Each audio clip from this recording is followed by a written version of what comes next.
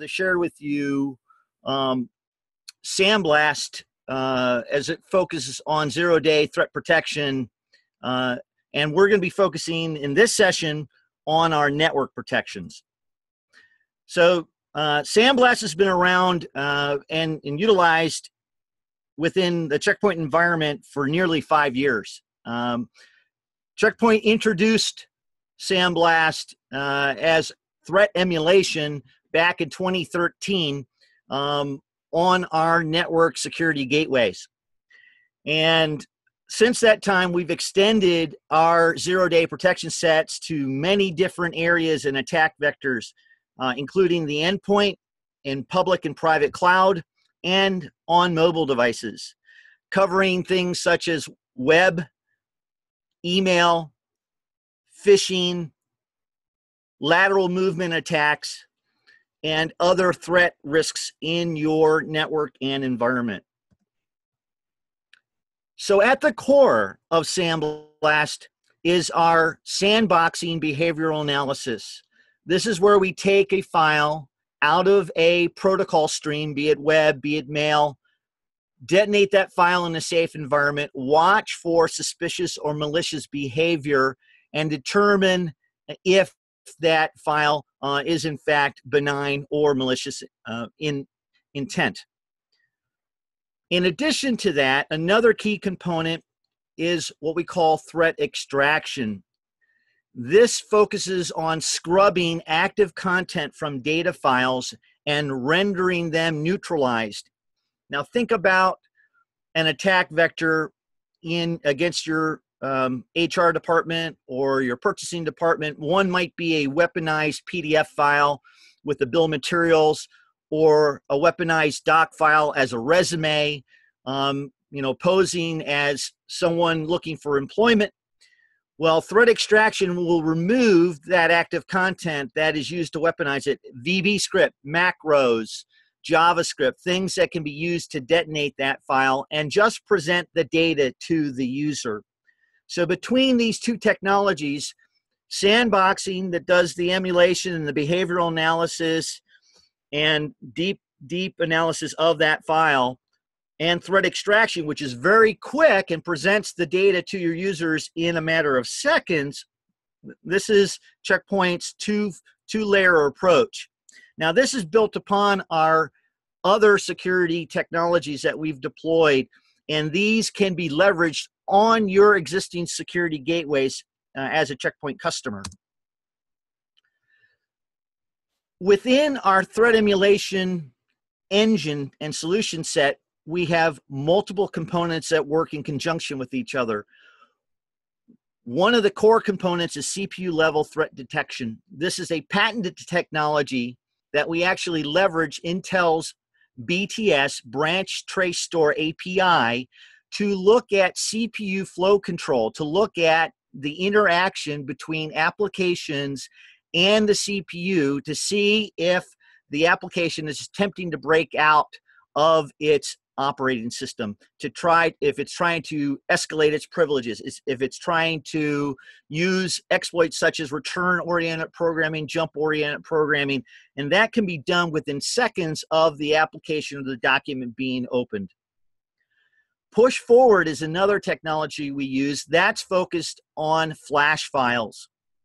As you know, flash files are presented to a web page and are very dependent on the type of browser, the dynamic content of that page, who the user is, what they're accessing at that point in time, which makes it a challenge when we try to take that flash file by itself and, and any sandbox attempts to try to detonate and look for malicious content. Well, push forward technology is designed to make the flash file continue to detonate, continue to operate, even if it would normally exit because it didn't receive the right parameters, it didn't wasn't uh, in the right environment, the wrong version of Internet Explorer, for instance, or wasn't communicating and receiving the uh, the proper feedback uh, from wherever it was communicating with. So push forward will drive the flash execution until it either finishes and completely uh, does all of its activities or it's determined to be malicious. It reaches a point where it starts execution that we've determined is malicious. And, and this, again, is unique to Checkpoint. We also have contents awareness. We call this cadet. Uh, this is where the file is coming from, who's the sender, who's the recipient, and what context is that this information being presented? And we can evaluate not just the payload but how it's being sent who it's being sent to and make intelligent decisions based upon that. Now this is built upon multitudes of additional engines and technologies machine language learning artificial intelligence and other detection capabilities built within our sandbox, uh, sandbox um, solution set Checkpoint solution is one of prevention, not just detection. We can be deployed inline. We can be deployed in a prevent mode, in, a, in an ability to hold the files before they're introduced to eliminate victim zero. Many competitive solutions can identify a malicious file, but only after it's passed into your environment and has potentially infected someone uh, inside. Our solutions can be deployed inline for HTTP using MTA for um, mail transfer agent for mail or through APIs in the cloud. Files that are identified as malicious can be quarantined, and this can be done on multiple devices, be it a desktop, a laptop, a mobile device. Threat extraction, when I mentioned that we remove active content from files with threat extractions, we can do that in one of two ways.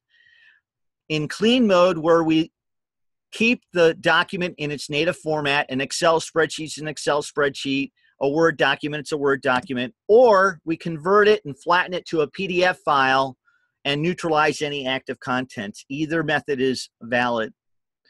What that looks like within an email is something like this there would be a banner saying that the email was attachment was scrubbed or cleaned by a checkpoint gateway we would add the word clean to the file that file could then be viewed in this case as a pdf and active content is removed now if the user needed to get the original that's available as well it's through a self portal that doesn't require any help desk or operations.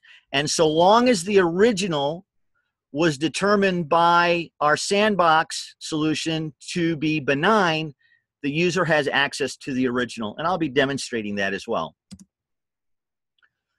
Don't just take my word for it. Um, our solutions have been tested by third party organizations such as NSS Labs. In their latest breach prevention system test at the end of last year, Checkpoint ranked number one in overall performance and cost to deploy as, as it compared to other leading competing solutions in this space.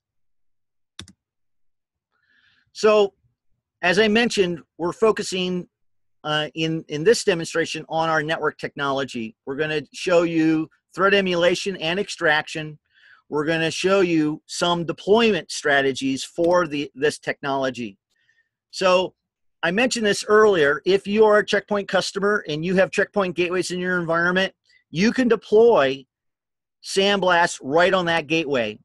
We can do the emulation at our cloud, at our data center, where we do the emulation. You're not, we're not using um, the horsepower of your security gateway to do this. The detonation of files and the inspection of files is done um, at checkpoint.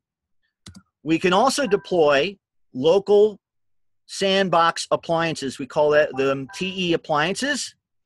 They can be used so you maintain confidentiality, you, main, you maintain uh, control of the documents at your data center on site. Threat Cloud is our threat intelligence that feeds our security gateways and also supplies real time updates as newly identified zero days uh, have been identified, and presented down via our customers globally around the world. Again, this ties into your important protocol streams. Primary focus is on HTTP, HTTPS, and mail SMTP. Uh, we can also provide a highly available, scalable solution um, by deploying multiple appliances that work in conjunction in a load sharing manner so that the solution can scale and support multiple gateway points within your environment, branch offices, remote offices, data center, and whatnot. If you are not a checkpoint customer, we can be deployed in line using a TE appliance standalone behind your current security solution. We can be deployed in layer two or layer three and inspect the web and mail traffic that, that is coming in, doing local sandboxing uh, on demand. Same, uh, same threat intelligence feeds into that environment, uh, providing protection for your mail and web-based users. We also support ICAP.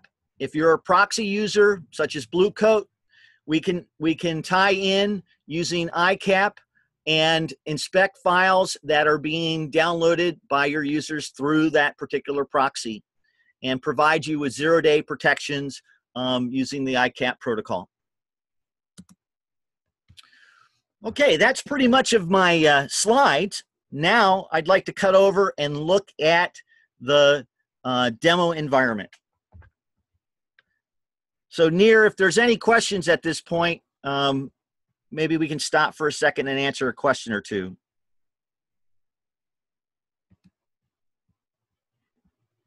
Okay, let me let me see. No, we're uh, we're good. You can continue. All right, perfect. Thank you, Rich. Yeah, so here is our um, demo environment that uh, we've set up for you today. We have an R8010 uh, network security gateway that's going to be uh, doing emulation in our cloud. We have a victim system who's also the administrator of the gateway that's protected by the R8010 gateway.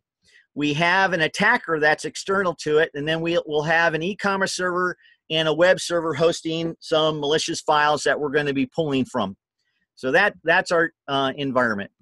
So I'm going to jump over to our, our cloud share and uh, start going through a couple different scenarios. So the first scenario that I'd like to walk through is one where I'm taking a resume file, I'm creating a, a variant uh, of a malicious attack using that resume file, and I'm going to mail it into this internal organization and hope to try to get a, uh, a foothold into their HR department. That's the first scenario here. So my first step is that I'm going to create a variant uh, of my file.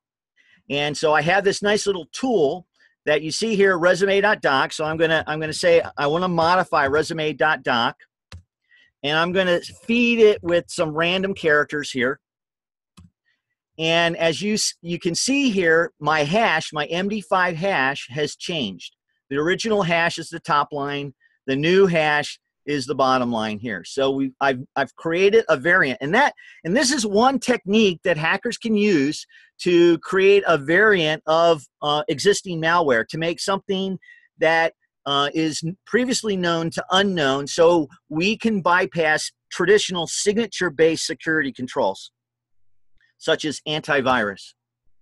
Okay, now that I've created my variant, I want to test it. So I'm going to open up Chrome and I'm going to jump over to Virus Total. Now, if you're not familiar with VirusTotal, uh, Google's created this wonderful tool that you can take any file, any URL, and present it against a number of security engines to determine if that file contains malicious content or has been seen before as malicious. So we're going to choose our file. I'm going to go to my desktop.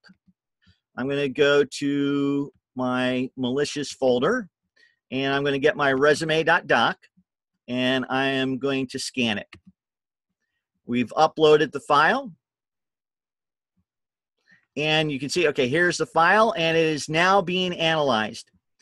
And as you can see, it's being run against multiple AV solutions, and green means it's not detected, which means I'm my variant is effective. Okay, and I'm I'm going down here, going down. You can see uh, nobody nobody's caught me, and so zero detections out of 59 engines. So that that's pretty effective as a as an, an attack vector here. All right, so let's launch our attack. So what we're going to do is I'm going to open up mail. And here is step one. This is my first attack vector. Now, I'm actually, uh, um, you know, sharing something here that, guess what? This resume file is not actually just a resume file. Um, it is actually a repurposed archive file. It is actually a zip file that I'm masquerading as a doc file. And I'm going to show, and not only that, but it is password protected. And I'm going to show you that I'm going to send this across and that we're going to have the ability to run a dictionary attack against the archive, be able to open up the archive, scan the files that are within the archive, and determine if that's malicious or not. So let's send that file across. So I'm gonna I'm gonna send it over. Who you know? Here's a candidate. Res, I'm sending my resume. This is a you know a phishing mail. I'm, I want them to open up the file. So we'll, we'll send that over. Boom, off it goes. Now let me jump over to my victim system. Remember from my uh, illustration, that's behind the, the gateway. And I mentioned that the victim is also the administrator of the firewall. So I'm going to bring up our management console here. And I want to move over to our policies to show you what security I'm enforcing on the gateway. So um, we have a firewall policy in, in enforce and I have a threat prevention policy. So I'm, I'm going to actually jump over to the threat prevention policy. And within the threat prevention policy, you can see here I have uh, one labeled, a profile labeled Sandblast. And we're going to edit that profile. And within that profile, I can show you that we have sandboxing, threat emulation enabled, and we have anti-bot enabled. And if I go down into threat emulation, I can show you that we're scanning web and we're scanning mail traffic. Okay and we're we're set to a prevent so we're set to prevent for high and medium confidence matches. All right? And so that's the policy that we currently have enforced. Now let's go down to my mail on my user. And here i've received the mail stage one. And notice well, the attachment looks a little different now, doesn't it? This is this isn't the uh, resume.doc file. So if I open this up, you can see here, original attachment resume.doc was found to be malicious. So I can close this message. So we've removed the original attachment, uh, protecting the user from that malicious content. Now, what does that look like from a administrator standpoint. So let's go to logs. Let's update, refresh our logs. And so here, I have a threat emulation, SMTP emulation event, critical, high confidence level, prevent, I can show you, here's the original file, resume.doc. Here's the file. It was, notice it's actually a zip. I told you it, it was an archive. And here's the sender, here's the recipient, sent, sent via mail. And it, uh, it uh, was blocked by our sandbox solution set. Now, what I'd like to do now is try to open up uh, a forensic report and show you uh, what the forensic report looks like for that particular attack vector. And so when we detonate a file um, within the sandbox, we will forensically collect the data from that file and, and provide a forensic report of what was seen uh, within that sandbox. And so we'll, we'll do that for each operating system. Uh-oh. All right, well, Murphy's hit. Uh, so let me, uh, let me quickly log in again but I'm actually prepared for this. I have a backup. And while we're connecting back into the server, let me shoot over here and bring up the report. Okay, so this is what the threat report's going to look like. Resume.doc verdict malicious, action prevent, high confidence, classified as a Trojan from PayPalSecurityShop.com. There, there's the email stage one password protected archive file to IPS. It's actually resume.doc. Now notice the top level is only one file. It's not there's not a lot of information here, but if I click on that, this will drill down into the file within the archive and show all right, we detonated this on Windows XP and Windows 7. We determined that there was malicious embedded macros within the Word document. Suspicious files were accessed during emulation. Registry registry modifications were done during emulation, and it was a, there was a reputation check, well-known malware. In fact, we actually have an emulation slideshow within the sandbox. This steps through what we saw execute during the detonation. And there you go. After it popped up, there's a CryptoLocker pop up um, showing um, that a macro was being run and some malicious content was being executed. So let me jump back out of that and minimize this. All right, so let's go back to our cloud share environment and let's let me go back to our attacker. Let me close or minimize Outlook. And just for giggles, I want to show you what that would have looked like. This is the file that uh, was within the archive. If I detonate the file, okay, boom, there you can see. Um, so the file uh, actually had a macro. Uh, it was using Visual Basic, uh, built on built on top uh, built on top of a resume. Okay, and you can see it it, uh, it kind of crashed uh, Word there, so that's not a good thing. So that that's what the original uh, original file looked like and did. All right, so um, my next step is to enable threat extraction. And we're going to utilize threat extraction within this process.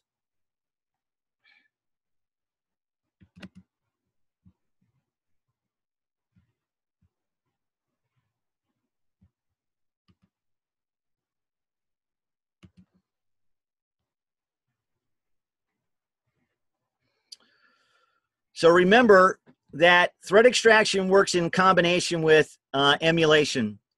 We're at, we're actually going to do uh, a uh, a combination of um,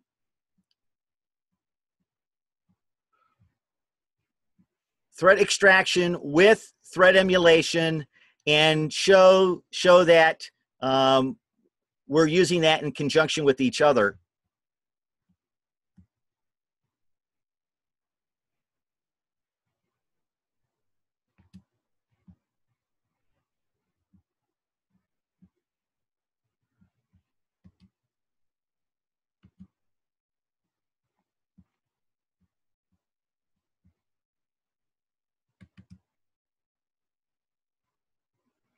This is our security gateway.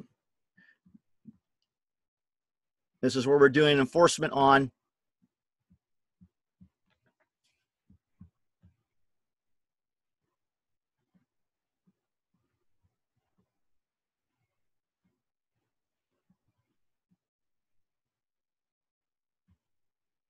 My environment uh, must be a little low in the cloud with memory here because the gateway object is uh, not fully uh, displaying here. Bear with me a moment here.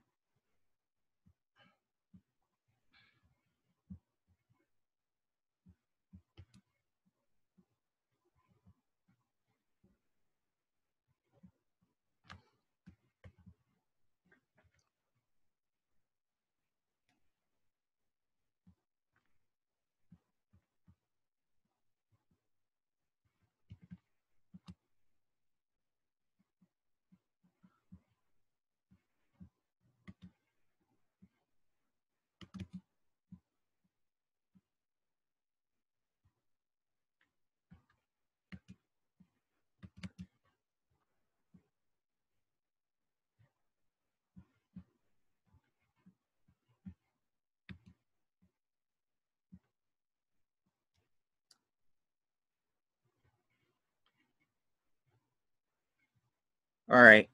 Um, I'm actually not getting the uh, uh, threat prevention policy to come out within the the GUI.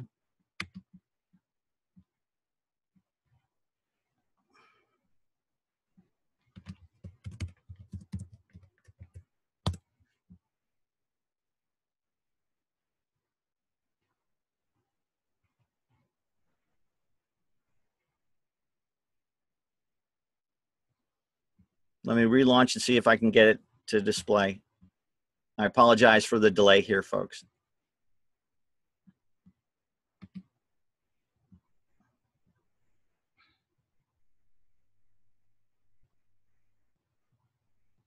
All right, there we go. Thank you. All right, so what we need to do is to add threat extraction to our threat prevention policy. Going to enable threat extraction here. Select OK. We're going to install the policy, publish.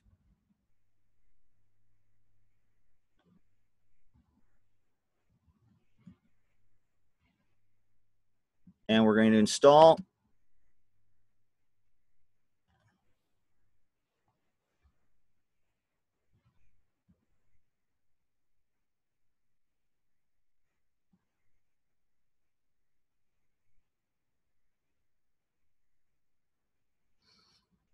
And while that's doing that, I'm going to get ready for our second attack. So let's go over to our attacker.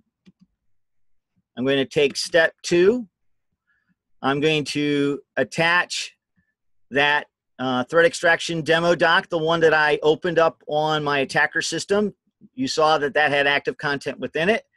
Um, and let's jump over and make sure our policy, okay, so our policy installation has started here.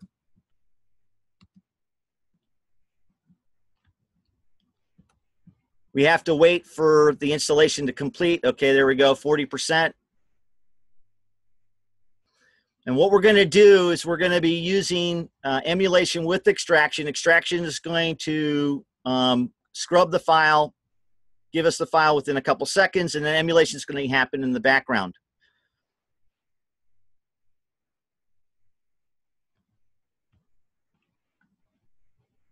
Now, emulation can or extraction can happen uh, in line within uh, web when we, when we use uh, threat extraction in line. All right, and we've installed that, and on an MTA for mail.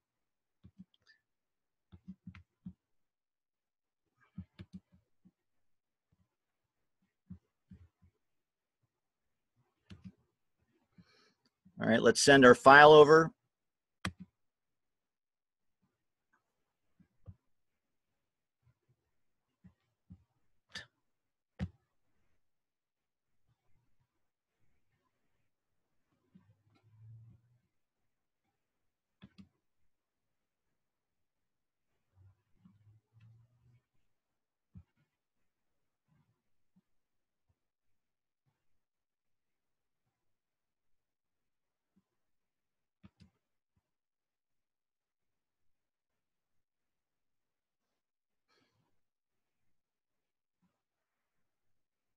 All right, folks. As as you can see, uh, my CloudShare environment has decided not to uh, um, behave with us right now.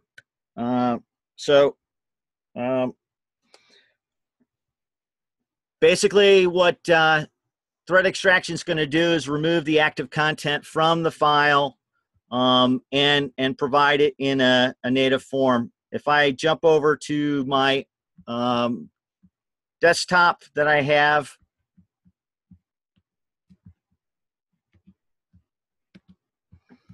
And if I browse for some documents, um, I have threat extraction available as part of uh, a browser download. And I can demonstrate what that looks like here, at least on my uh, native uh, desktop. You can see here that doc file was converted to a PDF, and this is how quickly it should work when, when your cloud environment's working correctly. Uh, you can see that the doc file um, was converted to a PDF, and um, all any active content from that file was stripped out and removed. So at the same time, I can go back and now this is through a, a browser plugin. You can see here, here's the original. Um, once the original has been analyzed through Sandblast, you can get the original, and as long as the original was benign, um, I can get the original file downloaded uh, to the downloads folder on Chrome in this case. So once that's done, it'll automatically drop in my downloads folder. All right, so let's see if my uh, environment here with CloudShare has come back. All right, let's uh,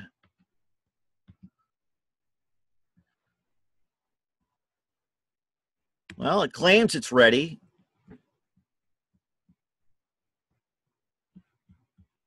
Maybe that one connection just wasn't uh, working for us here.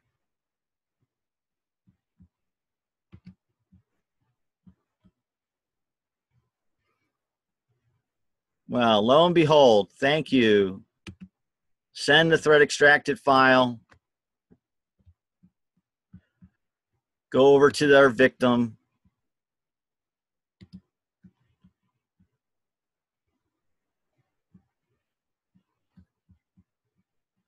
Let's go to my mail.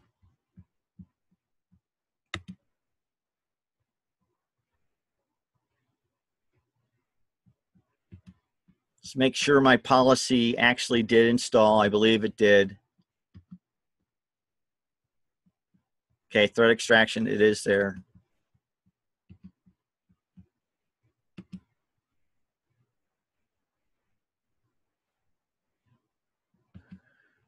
All right, here it is, uh, threat extraction. Um, here's the banner that we add. This email attachments for clean of potential threats by Checkpoint uh, Gateway. Uh, here's the clean document. So I can open this up and show you the document that had uh, been weaponized with, uh, with the macro. Um, and as you can see here, uh, it, uh, uh, it actually was scrubbed and uh, doesn't contain any active content. So we're looking through a PDF viewer here.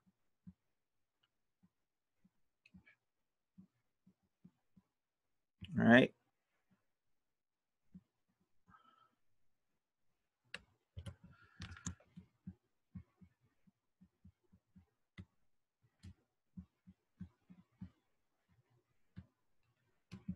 And we'll close that. And then now let's say I wanted to still get the original. And we know the original is malicious here. So if the user attempts to get the original, um, we will still block it. So here's what their their experience would look like. They go to a, a policy page. There are two files that were extracted a doc file and an image file. Um, and i want to try to get the original file. I need the original. And click confirm. All right notice uh, threat extraction demo doc, it was blocked. File is malicious. So even if the user attempts to get it, we will block it knowing that um, the uh, the file had it. Uh, the file was malicious in intent. The image file was okay. We could grab that, but we can't get the original of that um, doc file. Okay, my last example is a, a link within uh, mail. So here we have, looks like a, a uh, link to a statement. And this link goes to a malicious file. Uh, and so we're going to forward this on to the user.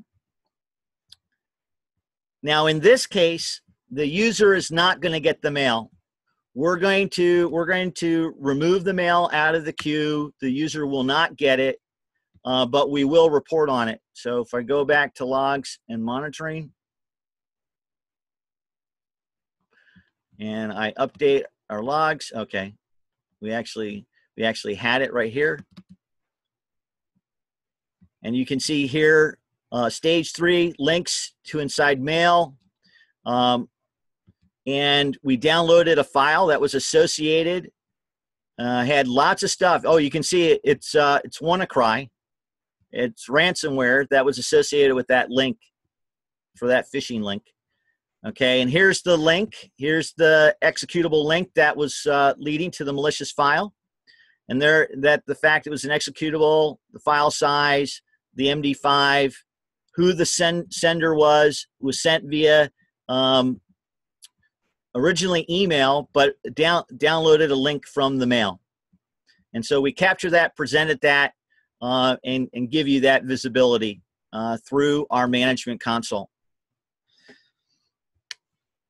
That's pretty much the scenarios that I have on the network side. I apologize for the uh, uh issue with CloudShare in the middle there, but uh, we were able to recover from that uh, connect back and finish the last two examples. So I'd like to open it up now for any questions that you might have.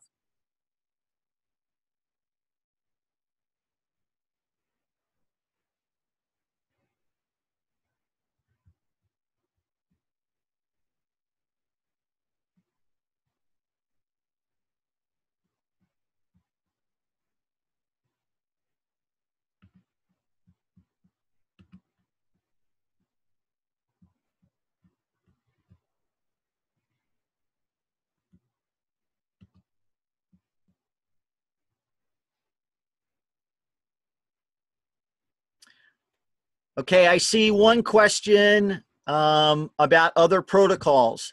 So, um, sand uh, sandboxing with Sandblast supports SM, SMTP, SMTP with TLS, HTTP, HTTP uh, uh, S.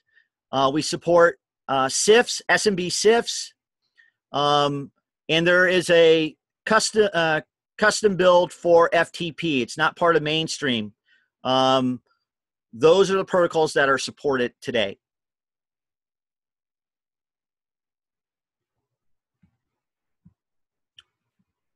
Are there any other questions?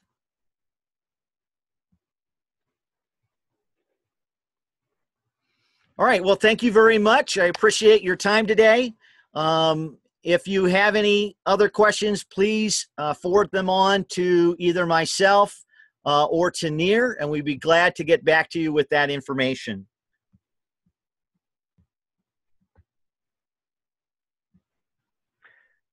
Thank you very much, Rich, and uh, thank you everyone for joining us. Um, as Rich said, we will follow up. If you have any other questions, uh, feel free to uh, send me an email. Um, and uh, I'll make sure you receive the, all the answers.